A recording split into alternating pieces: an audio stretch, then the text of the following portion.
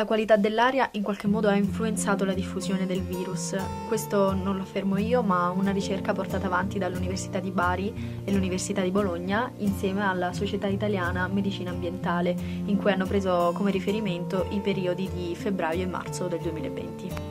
prima dello scoppio del virus ho scaricato un'applicazione riconosciuta a livello mondiale eh, che qualifica l'aria, eh, proprio descrive attraverso diversi parametri eh, la qualità dell'aria e vedere che Padova prima eh, dello scoppio del virus oscillasse sempre tra valori tra i 70 e i 140 non era una bella cosa. Eh, adesso invece i risultati sono questi e sicuramente penso che alla fin dei conti mh, L'altra faccia della medaglia di tutta questa situazione non sia altro che la natura. Come lei stia vivendo al ridotto contatto con l'uomo o come semplicemente il cielo stia respirando, ad esempio con la diminuzione del traffico aereo, oppure ancora come temporaneamente la natura e gli animali si stiano riprendendo un po' il posto e il vuoto che la vita frenetica dell'uomo ha lasciato. Da una Campobasso semideserta e da una quarantena tecnologica vi mando le mie considerazioni su questa vicenda, una vicenda dolorosa che ha colpito tutti, ma non tutti in maniera uguale. Ha seminato morte, ha seminato eh, dolore, ha seminato povertà, seminerà povertà perché sarà quello che raccoglieremo, ma eh, per quello che mi riguarda vedo un'ansia di tornare a una normalità e a un sistema economico che ha prodotto invece il disvelarsi di tanta fragilità di quello che avevamo costruito, l'inconsistenza di quello che avevamo costruito. Io non sono ottimista, mi sembra che questo silenzio che ci avvolge sia non il silenzio quieto di un'abbazia o di un monastero immerso in preghiera, ma mi sembra piuttosto il silenzio di una pletora che preme alle porte e ai cancelli per riprendere lo scempio di prima. Durante questi giorni si è visto che eh, la la causa principale probabilmente della diffusione del virus in Lombardia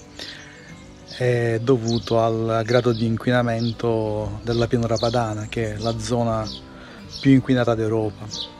E in particolare, da vari studi che si sono susseguiti in questa settimana, è venuto fuori che le particelle PM10, quindi il particolato, sono la causa principale della possibilità che le particelle di sudore o di saliva possano percorrere tempi e spazi, diciamo, distanze lunghe e quindi eh, avere la possibilità di infettare più frequentemente e più facilmente le persone. Quindi la riflessione che sorge spontanea nasce dal fatto che se si fosse puntato a uno sviluppo industriale non soltanto concentrata in quella zona, ma eh, più diffusa sul territorio nazionale e in particolare al sud, eh, molto probabilmente il problema dell'infezione si sarebbe potuto mitigare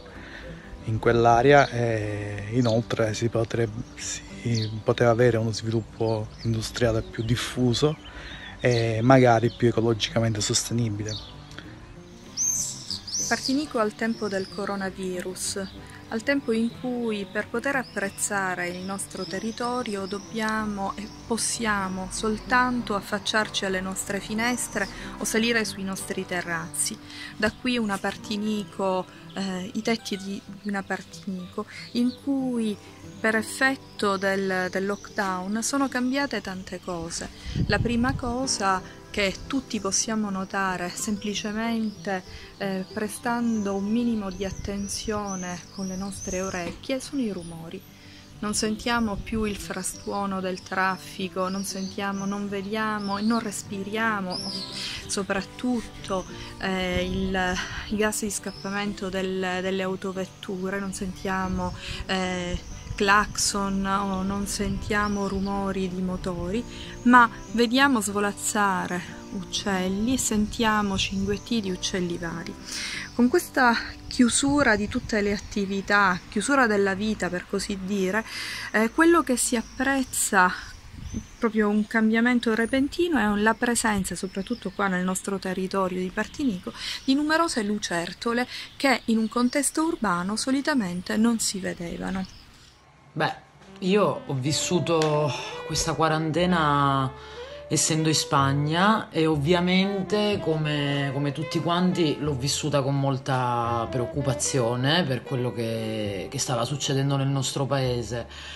Per chi come me si è ritrovato a vivere eh, all'estero, credo che la preoccupazione sia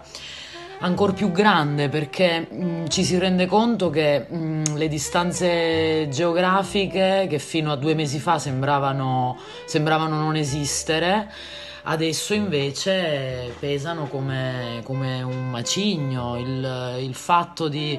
di, non poter prendere un aereo per raggiungere i propri cari, di non sapere quando tutto ciò sarà possibile, sicuramente incide molto nel, nello stato d'animo. Allo stesso tempo, nel corso di, di queste settimane,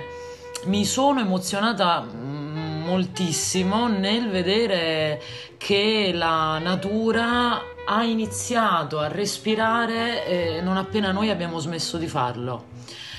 Uh, per cui mh, mi, mi, sono, mi, sono, emozionata nel vedere eh, i delfini nuotare eh, in Sardegna o, o, nella laguna di Venezia, eh, vedere come le balene nuotavano felici nello stretto di Messina. Insomma, nel vedere che la natura e gli animali si siano riappropriati dei, dei propri spazi. E allora mi sono chiesta, è davvero così difficile trovare un equilibrio eh, rispettoso eh, tra, tra, gli uomini e la, e la natura? Buongiorno, mi trovo presso la riserva naturale orientata delle isole dello Stagnone di Marsala. Eh, alle mie spalle potete intravedere le saline di, Marsala, le saline Trenfersa eh, di Marsala e ho deciso oggi, primo giorno di fase 2, di fare una passeggiata eh, lungo appunto tutta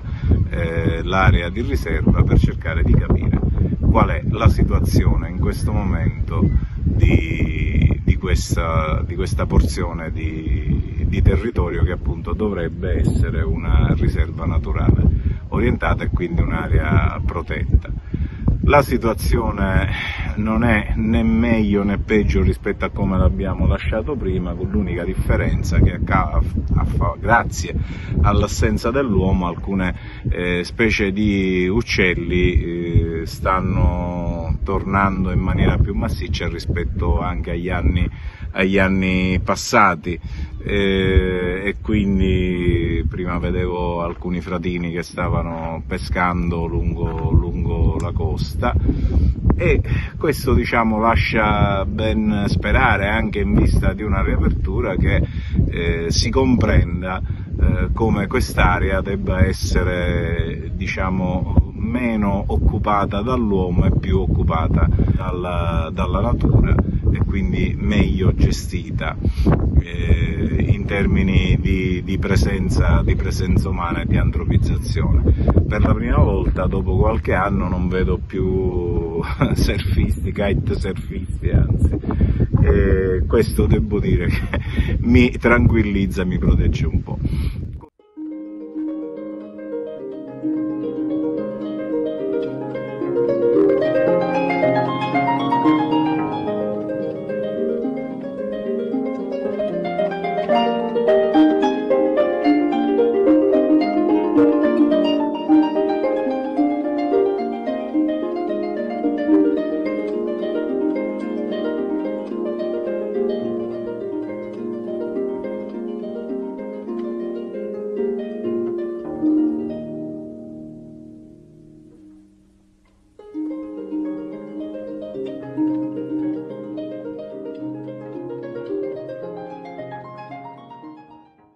E siamo qui, un fine quarantena da celebrare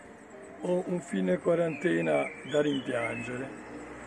In effetti siamo in centro città, la natura ha cercato di prendersi i suoi spazi con i suoi suoni, con le sue sinergie e ci ha sussurrato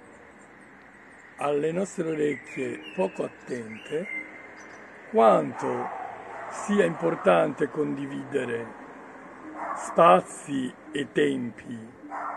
con quello che è il nostro ambiente. Purtroppo sta finendo questo periodo sospeso e si cominciano a sentire le prime avvisaglie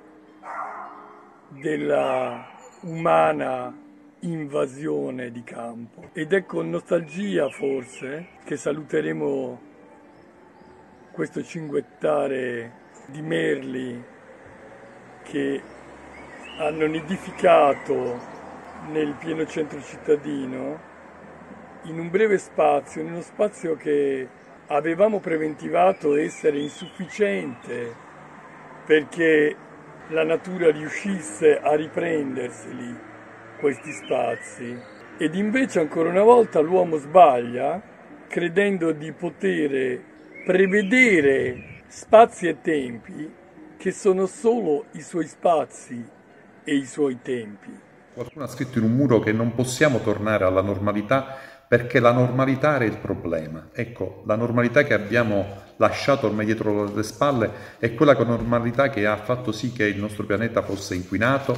che sfruttassimo le risorse in maniera sconsiderata e fuori ogni limite e che ha contribuito a queste e ad altre eh, pandemie che questo pianeta ha sopportato e che continuerà a sopportare nei prossimi anni. Dobbiamo attrezzarci, lo dobbiamo fare cambiando gli stili di vita, con ragionevolezza, con senso di responsabilità, ma soprattutto avendo come obiettivo un cambiamento nelle nostre abitudini, nel nostro modo di vivere, di spostarci, eh, di usare i mezzi, i, i mezzi, di trasporto, di consumare il cibo, interazioni che noi abbiamo con la natura, con il mare, con l'ambiente, devono cambiare necessariamente molte e molte cose. Ecco, la speranza che viene da questa lezione e il lavoro che noi vogliamo continuare a fare come associazione ambientalista sta proprio in questo, nel tentativo di costruire e di far capire ai cittadini, alla maggioranza dei cittadini che dobbiamo cambiare, dobbiamo cambiare stile di vita per salvarci noi e per salvare la vita in questo pianeta.